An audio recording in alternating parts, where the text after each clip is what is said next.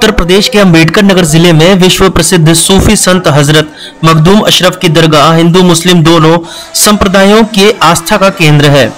साल भर दरगाह पर जायरीनों का तांता लगा रहता है। लोग अपनी हर तरह की परेशानियों के लिए दरगाह पर आकर मन्नत मांगते हैं।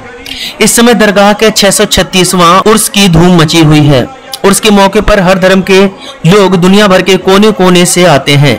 अंबेडकर नगर ज़िले के मुख्यालय से लगभग 25 किलोमीटर दूरी पर स्थित सूफी संत मखदूम अशरफ सिन्नानी की दरगाह सभी संप्रदायों की आस्था का केंद्र है, जिसे लोग किशोरचार शरीफ के नाम से जानते हैं।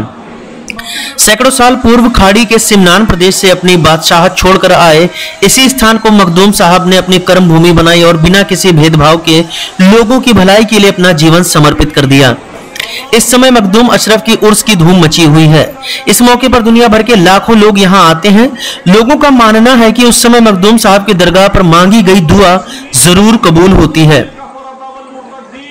सज्जादा नशीन मोइनुद्दीन अशरफ ने बताया कि इस दरगाह पर आस्था रखने वाले दोनों समुदायों के लोग बिना किसी भेदभाव के मजार पर आकर अपनी परेशानियों को दूर करने के लिए दुआ मांगते हैं। कि सल्तनत मखदूम सुल्तान सैयद अशरफ जहांगीर सलमानी का दरबार घरबार जो है, ये फैज का ज़रिया है। यहाँ बिला तफरीक मज़हब, मिल्लत, बड़ी तादाद में हिंदू, मुसलमान, सिख, ईसाई हाजिर आते हैं और अपनी खाली झोलियों को गहरे मुराद से भर के जाते हैं। यहाँ जात और धर्म का कोई भेदभाव नहीं है।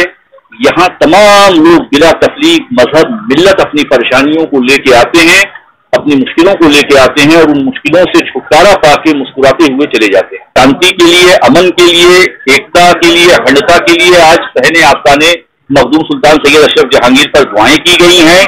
अपने मुल्क में अमनो अमान के लिए दुआ की गई है। हमारे मुल्क भारत में अमनो अमान रहे, इसके लिए दुआ की गई है।